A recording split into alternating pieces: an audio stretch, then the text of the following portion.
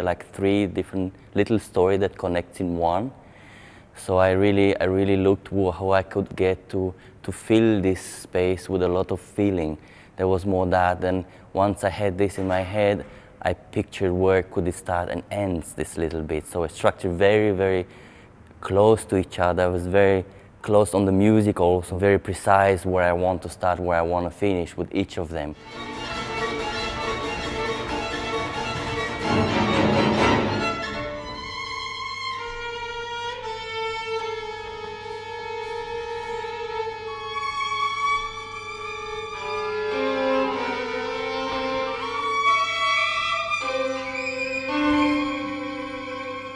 Very physical. All in all, it's very physical. I like that anyway for me, but I think for the dancer, uh, for a dancer, it's very important that he, he has something done. I find it's, it's very important to have physicality in it and a little bit of a twist. That I say, I call it like this as a twist, but it's, it's a bit me, a little crazy, a little shift, not so normal pirouette or turn straight. Or, it has to be a little something turn in the body, uh, somewhere you can bend it. And that's how I got to this. And of course, the soft parts is it's very touchy for me personally, and I'm very happy to do it. This is very important also.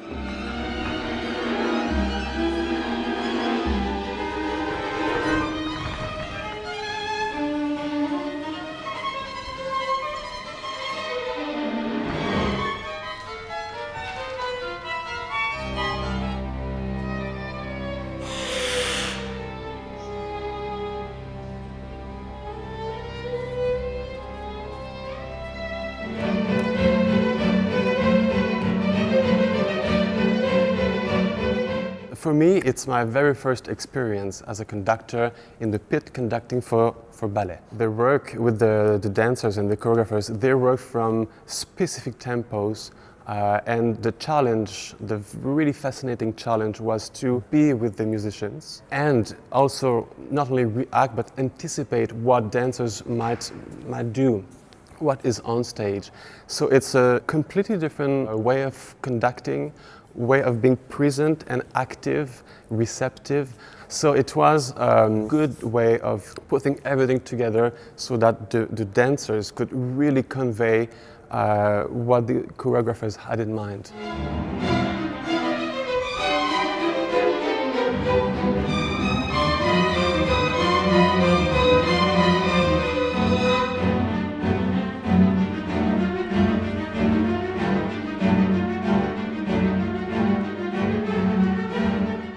For me, in a way, rhythmically, it, it, there was no direct connection with the rhythm of the music and of what is on stage. This big contrast makes a very vivid uh, impact, I think, and it makes a very strange feeling, and perhaps that's my guess that that's the way it creates the the, uh, the feeling of fear uh, live in the in the audience.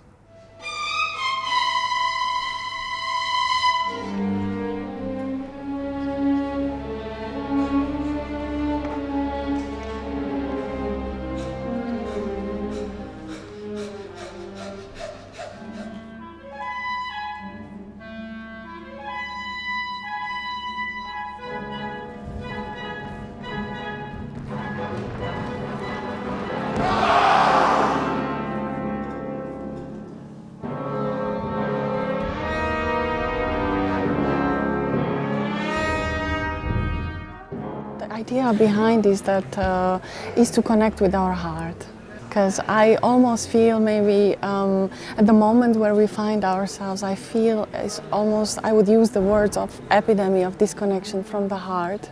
Sometimes we have to start from the beginning. maybe we have to be reborn whenever that happens. But uh, the confrontation with the truth of the heart, that is definitely the, the main reason why I went for this theme. Yeah.